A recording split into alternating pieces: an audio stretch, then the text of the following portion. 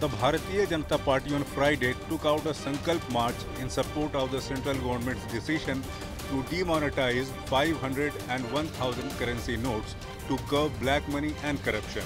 Hundreds of BJP workers and citizens organizations took part in the Sankalp march from Balmiki Mandir on Mandir Marg in central Delhi to the Sardar Patel statue near Parliament Street.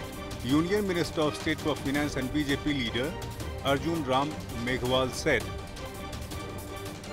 Delhi प्रदेश की Bharatiya Janata party की इकाई ने आज एक मार्च निकाला है।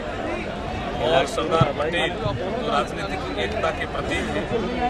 उनके park में, उनके नीचे, उनके मूर्ति के नीचे एक शपथ ली कि इस देश में जो मुहिम छेड़ी है मोदी जी ने, हम उनके साथ रहेंगे और इस देश से भ्रष्टाचार काला धन आतंकवाद को हो रही फंडिंग दवाइयों की तस्करी, हथियारों की तस्करी से इस देश को निजात मिलेगी।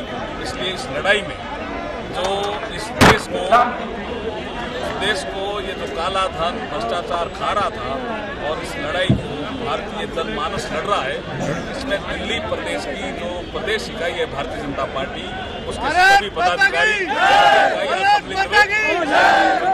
इसके लिए आज शपथ लिए संकल्प लिए। S report.